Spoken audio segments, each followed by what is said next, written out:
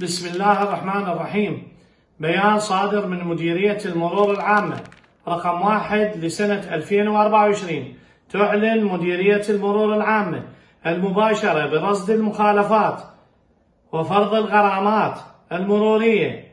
اعتبارا من يوم الجمعة الموافق. 15 3 2024 عبر كاميرات المراقبة الذكية. ورادارات السرعة.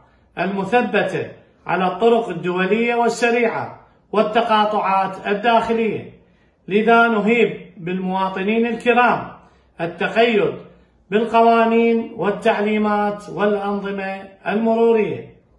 كما ندعو المواطنين الكرام إلى الإسراع بالتسجيل في منصة أور الإلكترونية ليتسنى لمديرية المرور العامة إرسال المخالفات المرورية عبر رسائل نصية إلى المخالفين لضمان عدم مضاعفة الغرامة.